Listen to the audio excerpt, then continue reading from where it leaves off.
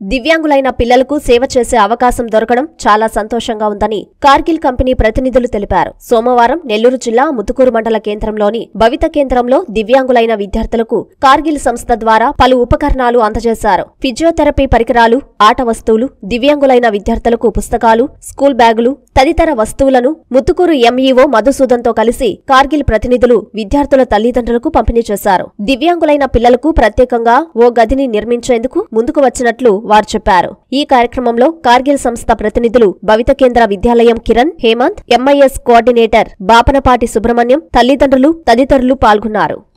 ఇక్కడ ఇస్తున్నారంటే మీరందరూ పిల్లల్ని మంచి వాళ్ళకి కావాల్సిన విధంగా వాటిని ఉపయోగించుకోవాలి. అదేవిధంగా మనకు ఐఆర్టీస్ ఉన్నారు. ఇందాక మేడం గారు చెప్పారు.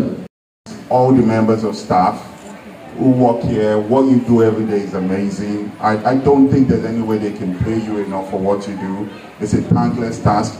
I truly appreciate it. The members of the government who are also here, our community, you know, thank you for what you do for helping these kids and helping make your life better as well. So really appreciate it and thank you very much.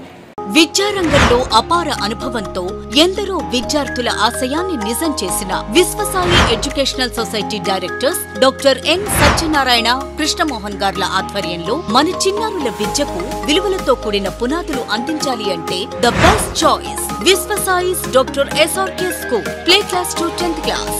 Magunta layout Nellore.